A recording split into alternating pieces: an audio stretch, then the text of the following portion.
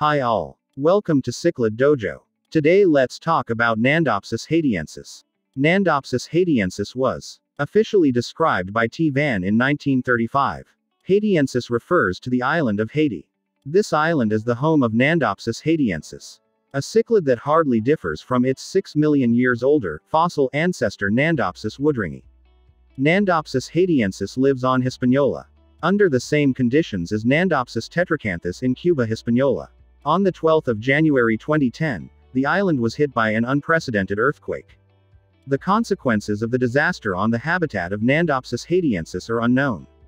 But may have been locally existential. This island is formed by the countries of Haiti and the Dominican Republic. We can find this fish in both countries. Diet. Omnivorous. The staple food these species depend on the location.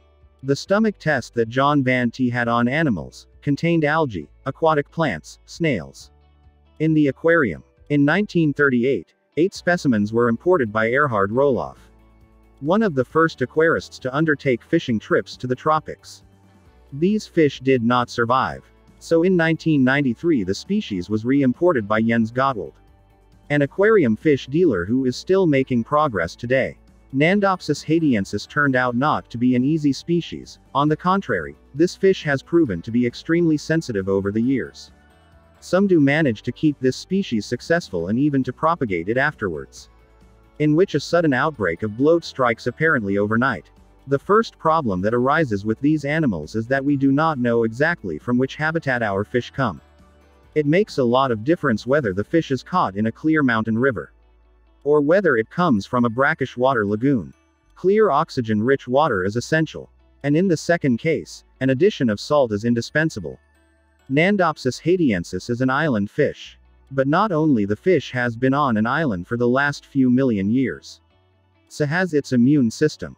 This means that Nandopsis haitiensis lacks more than 6 million years of updates to its immune system.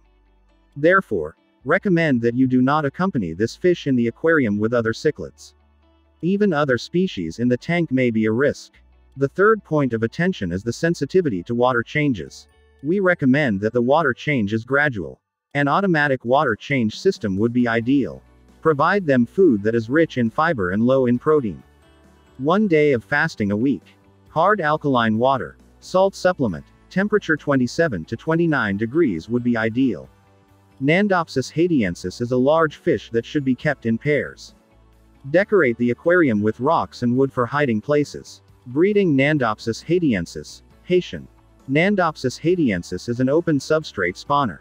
These fish can produce offspring at a length of 7 to 8 centimeters. Males get bigger, get a bump in the forehead, and are lighter, cream colored. Females have an ivory, white body color. Some have a dark zone in the dorsal fin. But it does not stop there during the breeding season. The females become almost black. This is also when females become very intolerant. She defends her eggs like a fury.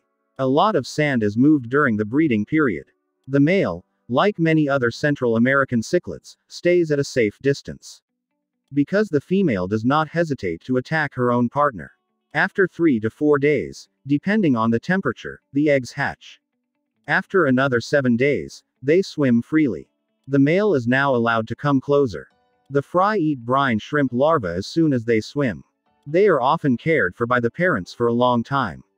At a size of 3 to 4 centimeters, the young go through a critical phase. Hobbyists have independently reported problems around this development phase. High mortality rates, up to complete litters.